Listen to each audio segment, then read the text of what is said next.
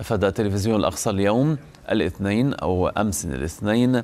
أفاد بمقتل ثلاثة أشخاص وإصابة آخرين في قصف إسرائيلي على مخيم البريج كما أفاد مراسلون بأن الدبابات الإسرائيلية وجهت نيران مدفعيتها المرابضة في محيط الكلية الجامعية للعلوم التطبيقية في حي تل الهوى. وجهتها باتجاه منازل المواطنين في الحي وباتجاه منطقة صبرة المجاورة وقالت وزارة الصحة في غزة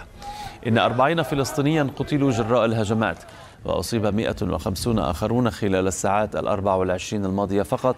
فيما أعلنت الوزارة ارتفاع عدد القتلى الفلسطينيين في الحرب منذ السابع من أكتوبر إلى 36479 قتيلا بينما زاد عدد المصابين إلى 82777